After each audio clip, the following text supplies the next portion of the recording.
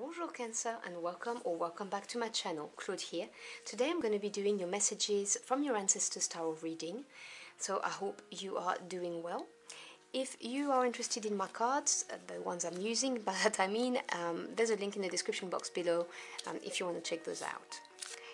Now, as always, please remember those are general readings. They cannot resonate with everybody. So if the messages do not resonate with you, they're just not meant for you, and that's okay. So, what do we have for my Cancer querents, please? What messages do they need to hear from their ancestors for the month of October?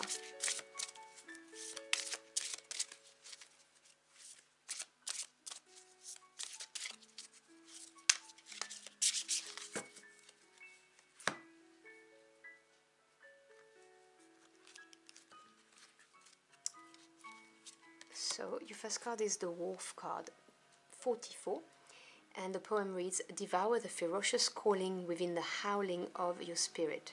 Run wildly into the freedom of your knowing. I love this card. It's so beautiful, so empowering. Your second card is Rooted, card 34. May you never tear the living ritual that is magic merged within the roots of your being, the soil of your soul.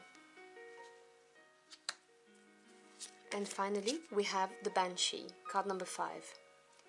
Heed my warning, dear child, for what I hold is far from unsung lullabies. Swallow a nail and you can expect bleeding from within. Let me put my oracle deck to the side. So, the message that you need to know from your ancestors is the Wolf card. This is the placement in this um, spread. This is a card of instinct and freedom. This is what they want you to know. They want you to trust your instinct. Um, you are part of a pack, okay? Your ancestors and you, you are part of a, of, of a pack, and they want you to listen to what you instinctively know. Um, because there is something afoot here, as I, I can see just from that, but I will clarify with the tarot deck anyway. This placement here is why they're telling you, and this is the card called Rooted. Now, this card talks about being grounded and feeling a connection. So, when I see this card in, in this position, they're telling you because they want you to be aware of their connection with you. As I mentioned with the wolf, you are part of a pack. Your ancestors and you, from you know, your lineage, you're part of a pack and they want you to feel this connection and take reassurance in this, be grounded, feel stable and strong because of this strength that comes from your ancestors. There is a very, very strong bond between you and your ancestors. If you're not aware of it, I'm telling you because they're telling me. And it's not just one ancestor that's coming through, it's quite a few of them. And this position here is how to better take heed of the guidance that they give you um, or how to how to act. And you have the banshee card. Now the banshee card is number five and I'm mentioning this because five represents uh, disruption. It has a number. It represents you know challenges and changes. And this card talks about um, wrath anger um, something that's afoot and they want you to take heed of this so that you are prepared because they're going to guide you, they're going to help you, and you are going to feel very strong because you know what's coming, if you see what I'm saying. So, let's clarify this with the tarot.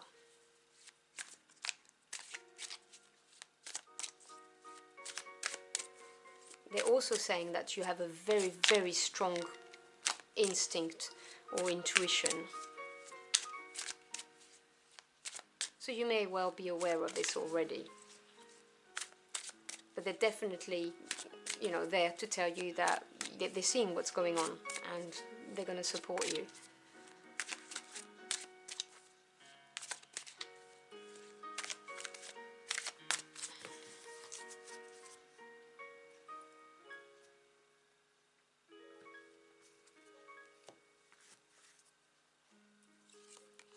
So we have the High Priestess. You see, I was talking to you about I just got the message that you had a very strong intuition and instinct, and you get the High Priestess.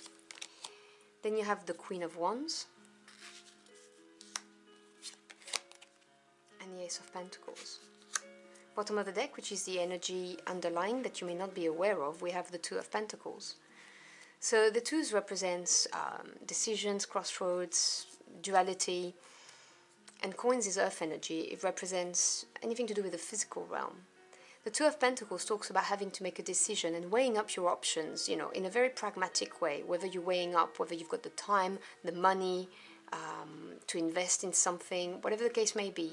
This is brewing. You're going to have to look at this, is what I'm hearing. Let me move this here so I can put that there.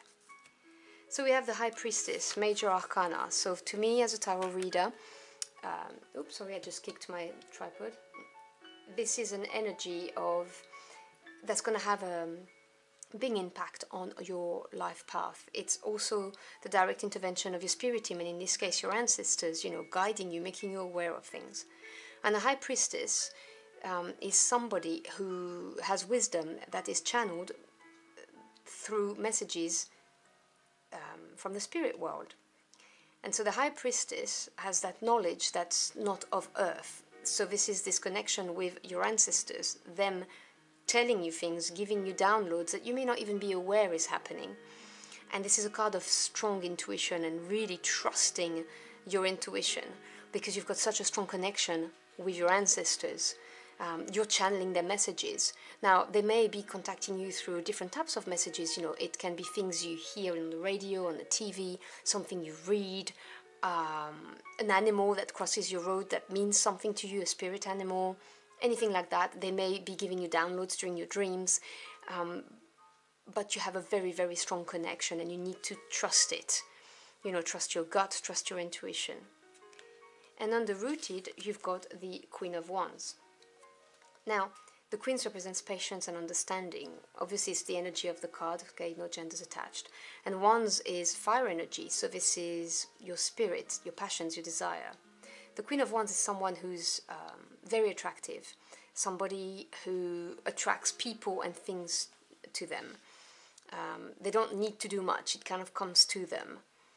Um, but you know, there are action takers, that is not to say, but they, they understand how to attract and I'm really, really getting the message that this person is gonna make you an offer, and this offer is right under the banshee, which is a warning. And so, I'm, I'm sorry, the message is very strong here. This person is not to be trusted. Whoever they are, they're not to be trusted. Um, this Ace of Pentacles, Ace being the um, seed, the origin of the suit, it holds the potential of it. And because it is the Pentacles energy, like I've explained, the uh, earthly realm, so, you know, financial assets, jobs, careers, your home, this could represent a, sum, a lump sum of money, an investment um, in your business, um, a promotion, or someone headhunting you for whatever reasons. And obviously, it holds the potential of making you prosperous and abundant. And by the way, prosperity and abundance can refer to emotional um, states, it doesn't have to be just financial. But what I'm seeing is that this person, obviously being the Queen of Wands, they're going to present it like something very exciting, something that's really gonna.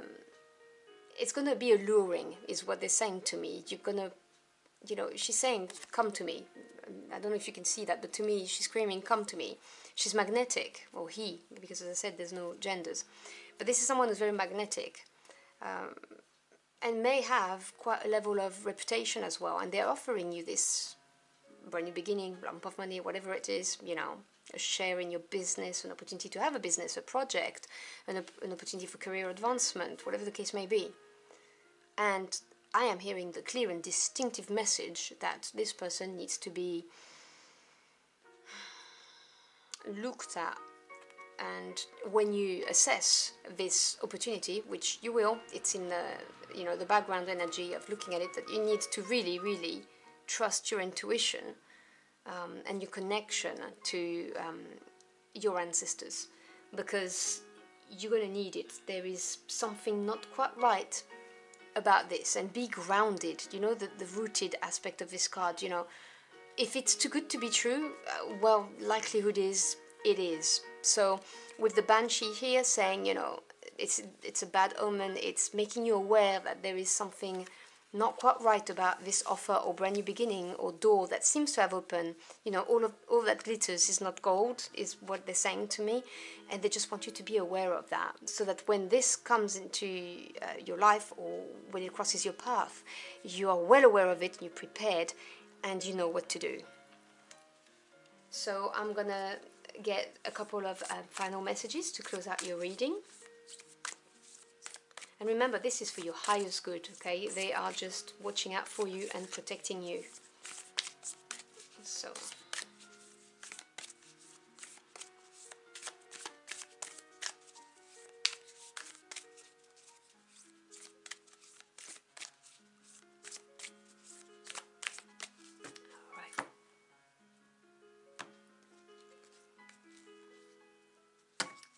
So, we have the new moon in Sagittarius, focus on the positive. So if you have a tendency to um, be negative and um, dwell on the past, this kind of thing, this is them saying to you, okay, look towards the future and focus on the positive, the good things that you've got going on in your life. Um, don't let this message of cautious, which is there to help you, um, don't let it get you down and think you know only bad things happen to me. That's not the case. You are very lucky. You are very protected. And by being aware of this this is going to help you avoid something that would not be right for you. So focus on the positive because also um, positive people attract positive energies. And so you will attract good things into your life if you are you know tuned in to good things in your life and grateful for them rather than looking at what you don't have, is what they're saying. And you also have work through your feelings. Okay, so this is a message, it's not going to be for all of you. This is the last quarter moon in Aries, by the way, if you're interested. Um, working through your feelings. Some of you may not um, know what you want out of life and that's why you are manifesting um, these kind of doors that open because there is some kind of confusion. And when we are uh, not aligned with our higher self we manifest things that are not aligned with our highest good. And so one very powerful way of avoiding this is to do some shadow work and go within and work through your feelings. How do you feel right now about your life? Are you happy? You know, are you enjoying um, your life, generally speaking, your relationships, where you live, where you work? Do you feel fulfilled? And if you have mixed feelings, dig deeper. Try and get to the bottom of it and find out what would make you happy or emotionally uh, fulfilled and content so that then you have a clear direction on where you need to go. But I can tell you this your ancestors, they are all around you. You are never alone and they will guide you if you let them. So I hope you've enjoyed your journey for the cards with me. If you found this message helpful in any ways, do let me know in the comment box below. I'd love to hear from you. As always, thank you so much for your time. It is your most precious commodity. I really appreciate it. And I wish you a wonderful month and I'll see you again very soon. Until next time, au revoir.